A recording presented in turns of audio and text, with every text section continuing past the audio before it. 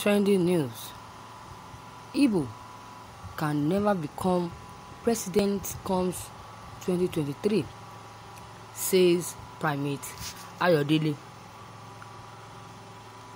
Primate Ayodele has revealed that Igbos will never be able to become president in 2023 in his last 2021 prophecy.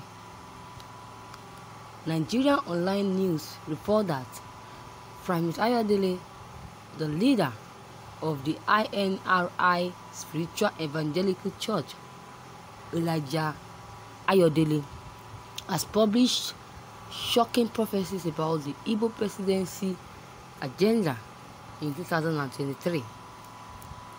According to the 2023 prophecy booklet made available to Nigerian online news on Tuesday, said that the clergyman, the 2000 presidency will elude the Igbos.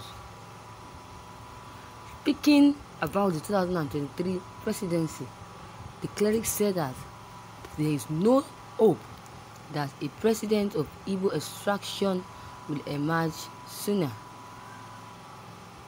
Sooner will, will be so many arguments against this zoning and this is how the presidency will bypass the Igbo in 2023.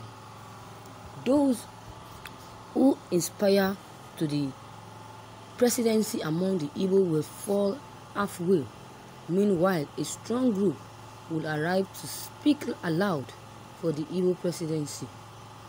They want, they want to extract the best candidates from the candidates of each party, he added. Thank you, viewers, for listening to this news. Hmm. This prophecy is real. Even if it's not, is not real, and God did not speak to him, I'm very much sure, and I believe all the statements he made about the Igbos. Igbos can never, they will never become the president in Nigeria. come 2023, they will never, since Nnamdi has chosen to fight, to struggle for Biafran uh, Republic. I don't think that uh, the Igbos will succeed in getting this post the presidential post in 2023. It can never be possible because Nnamdi Kanu and IPOB they have really tried a lot. They have tried a lot to to make sure that Biafran gets its republic, not even a, a presidency. So how will it? How would? How can that happen? How would that happen? Then Nnamdi Kanu and some IPOB members are not in support of Igbo presidency. We believe, uh, uh, uh, uh we believe, do you think that uh, they, they can become, the Igbos can become the president in 2023? That's not possible.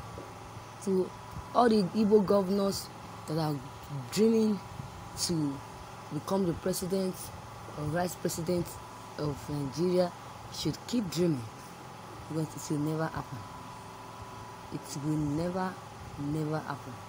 So viewers you have heard it all from primate ayodele. What do you have to say concerning what he has he has just said the prophecy he has just given? The comment concerning this news is of great importance. Please don't hesitate to drop every of your comments below the comment box. Click on the subscription button as well as the bell button to get notifications whenever we upload new videos. Thank you.